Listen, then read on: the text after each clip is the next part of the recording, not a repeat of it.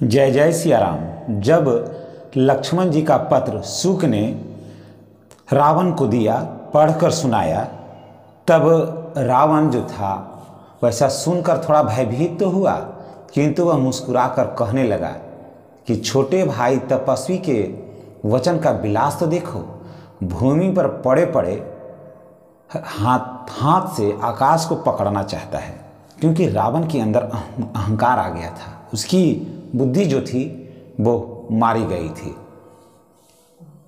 सुख ने कहा कि, हे नाथ, यह सत्य है।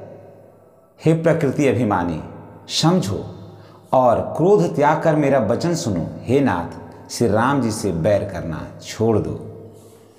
कह सुखनाथ सत्य सब बानी। कह सुखनाथ सत्य सब बानी। समझहु चारी प्रकृति अभिमानी, सुनहु बचन मम परिहारी क्रोधा, नाथ राम सन तजहु विरोधा। हे रावण, राम के साथ जो तुम बैर साध रहे हो, उसे तुम त्याग दो, क्योंकि राम त्रिकालदर्शी हैं।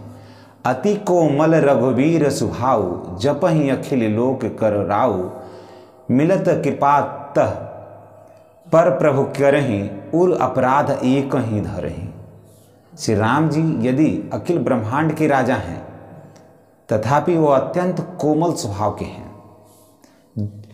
मिलते हैं उन पर, जो भी उनसे मिलता है उस पर उस पर वो कृपा करते हैं।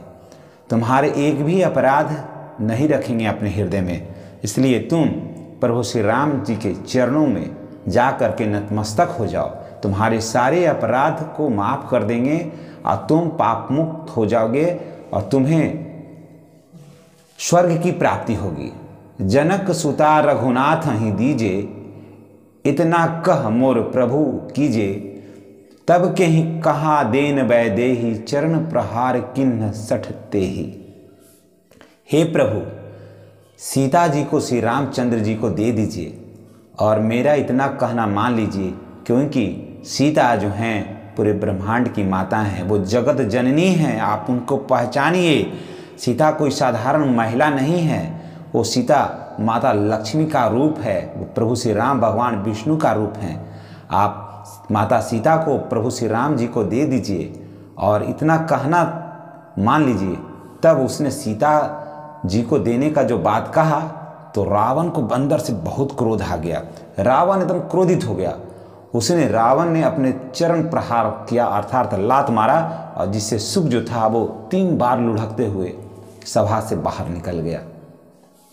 नई चरण सिरु, चला तो तहाँ, कृपा सिंधु रघुनाथ जहाँ, करी प्रणाम उन्हें जी कथा सुनाई, राम कृपा अपनी गति पाई। तब वह रावण के चरण में शीश नवाकर, क्योंकि बहुत दूत था, चला, जहाँ कृपा के समुद्र श्री राम जी विद्यमान थे। जहाँ तीनों लोगों के स्वामी विद्यमान थे, वहाँ सुख चले गए और जा कर के वहाँ प्रभु श्री राम जी को प्रणाम किया और कहा कि प्रभु, मैंने लक्ष्मण जी का जो भी संदेश था, उस चिट्ठी को मैंने पढ़कर सुनाया और उसके बाद रावण ने मुझे लात मार करके वहाँ से भगा दिया। हे नाथ, हे कृपा सिंधु मेरा प्रणाम स्वीकार करिए। मेरा प्रणाम स्वीकार किए प्रभु। श्री राम जी की कृपा से अपनी गति को उसने प्राप्त किया। श्री राम जी ने उसके सारे पापों को माफ़ कर दिया और उसे, उसकी अपनी गति हो गई, उन्हें उसे स्वर्ग की प्राप्ति हो गई। क्योंकि हे शंकर भगवान कहते हैं कि हे पार्वती, पहले जो था सुख जो था, वो बड़ा ज्ञानी था, मुनि था, जो अगस्त ऋषि के श्राप से वह राक्षस हो गया। तब श्री राम जी बारंबार वंदना करके फिर आश्रम में चला गया। वो श्री राम जी के वंदना करके फिर वो आश्रम में चला गया। इधर विनय न विनय न मानत जलधि जड़ गए तीन दिन बीत। बोले राम सकोप तब, भय बिन होई न प्रीत। इधर तीन दिन व्यतीत हो गए और समुद्र से प्रार्थने प्रार्थना स्वीकार नहीं की। तब श्री रामचंद्र जी गुस्सा में हो गए और बोले कि बिना भय का प्रीत नहीं होता है। आज इतना ही। अगले एपिसोड में, अगले वीडियो में आपसे पुनः मुलाकात होगी। आप अपने स्वास्थ्य का ख्याल रखें। प्रेम से बोलिए। जय जय सिया राम। चैनल को सब्सक्राइब कर